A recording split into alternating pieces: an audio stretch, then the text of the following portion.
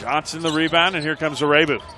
Look at the wheels on him. Flipped it up and in off the glass. On comes down with it and brings it all the way up the floor himself. Still coming into the paint. Tried to dump it for Young, and it's into the hands of Iroegbu. Two on one. Stefik tried to dunk. Runs by 24 points.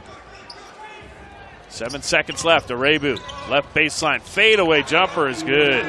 Tough hit for Ike Iroegbu. Henton bouncing in the lane. It's loose, but Iroegbu comes to get it. Back to Henton for three, and he got it. LaDontae Henton as they weathered a run by the Clippers, who scored 10 unanswered. Iroegbu swings it to O'Brien. High arcing three is good from the left corner. Needed a bucket just to kind of cool things down. Clippers want to run. As Iroegbu now straight to the rim and lays it up and in. Boy, is he aggressive, and he's got some. Under two minutes left to go.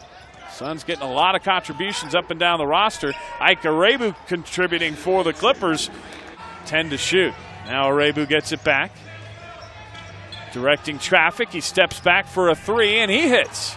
Ike Iroegbu. Suns rally in that game when they trailed by 19. Here's Iroegbu for three and he hits. Kind of hesitated. Usually you see a guy miss when that happens, but not Ike Iroegbu. Suns have hit 23s here tonight on 36 attempts. That's 56%. Iroegbu, the tough follow away on the run.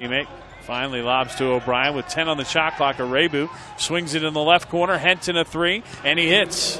LaDontae Henton has knocked down four threes on the night.